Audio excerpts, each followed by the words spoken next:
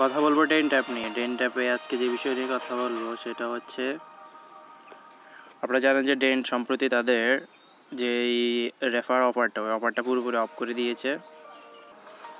বাংলাদেশ থেকে পুরোপুরি refer system এখন অফ আর যদি আপনি রেফার পয়েন্ট আর্ন করতে চান, তাহলে এইসব অফারগুলো আছে। অফারগুলো কমপ্লিট করে আপনি রেফার পয়েন্ট আর্ন করতে পারবেন।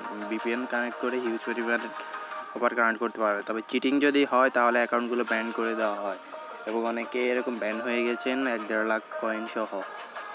তো তাই চিট না করার ট্রাই করবেন, একটা গেমস এক মোবাইলে একবারই খেলার ট্রাই করবেন, তাহলে হবে। আর রিওয়ার্ড পয়েন্ট যদি না পান রিকোয়েস্ট পাঠাবেন তাদেরকে, তারা রিপ্লাই দিবে এবং রিপ্লাই দিয়ে মাস্ট দিয়ে দিবে আপনার, যদি ভ্যালিডভাবে আপনি কাজ করেন, তো অবশ্যই আপনার পয়েন্টটি তারা ব্যাক দিয়ে দিবে।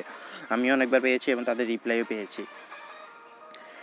তো এটাই মূলত ভিডিও আর ডেন্ট এক্সচেঞ্জ যদি চালু হয়ে যায়, তাহলে তার ডেন্ট রিচার্জ নিয়ে আপনার কোনো রকম ঝামেলা নেই। যদিও ডেন্ট রিচার্জের এখন যেসব অপশন বেশিরভাগগুলাই দেখুন।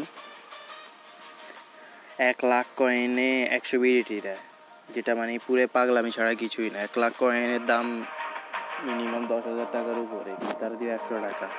তারপরে বাংলাদেশ থেকে তারা অফ করে নেওয়ার নিয়তে এসবগুলো করতেছে। তারপরে দেখুন যে একশো বিশ এমবি কিনতে সাতাশশো ডেন্ট লাগে, আর এক জিবি ডাটা কিনতে উনত্রিশশো ডেন্টের মতো। তো বুঝতে পারতেছেন, এগুলো পাগলামি ছাড়া কিছুই না। তো এই নিয়ে তেমন কিছু বলার কিছু নেই। আপনারা চাইলে নিয়ে নিতে পারেন এবং আপনাদের ইচ্ছা মতো ডেন্ট ডেন্টের অফারগুলো কমপ্লিট করে নিয়ে আপনারা আগে থেকে পয়েন্ট আর্ন করতে পারেন। তো ডেন্ট নিয়ে তেমন কিছু বলার কিছু নেই। যদি ভালো লাগে অবশ্যই আমার চ্যানেলটি সাবস্ক্রাইব করবেন। আর নিত্য নতুন টেক ভিডিও পাওয়ার জন্য আমার চ্যানেলের সাথেই থাকবেন। ধন্যবাদ।